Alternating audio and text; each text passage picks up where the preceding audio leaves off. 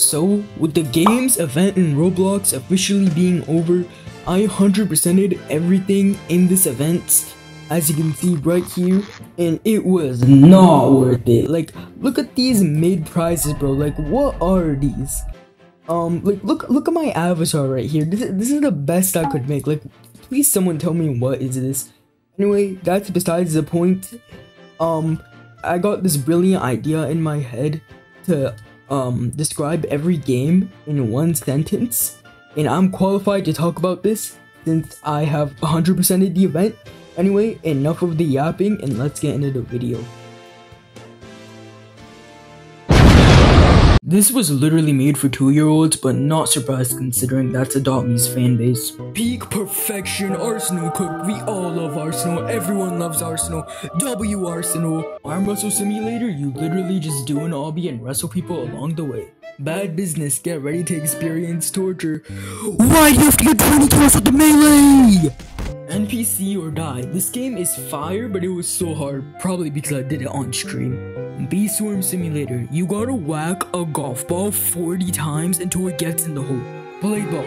Getting the maps are annoying. Getting the quests are annoying. But you know what? At least it's doable. Boxing League. I hate boxing now. You literally needed an or a friend. Creatures of Sonaria and just fly around while doing annoying tasks as a dragon. Drive Road. Oh my god, the GTA obstacle course thing was fire.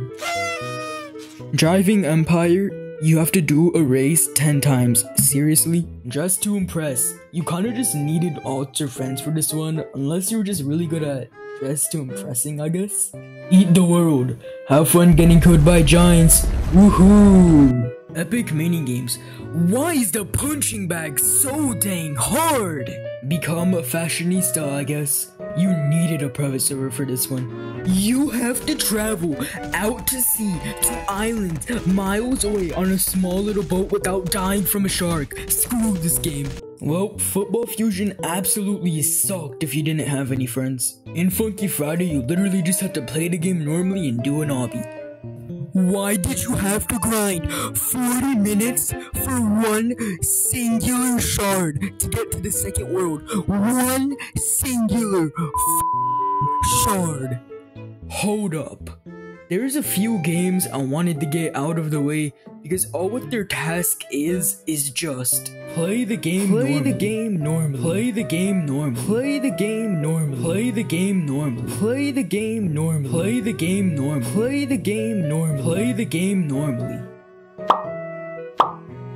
Perfect housing, win a team game mode, beat an epic duck, and survive a flood. Pretty fun. Horse life, you just like run around as a horse, I guess.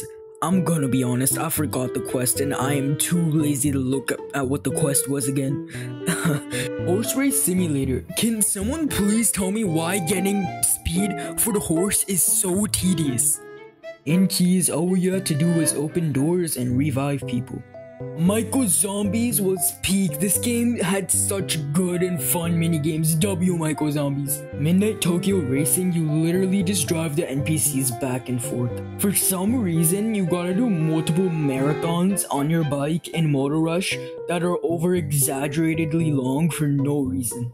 Murderer vs Sheriff duels, you literally just do MM2 on V1s.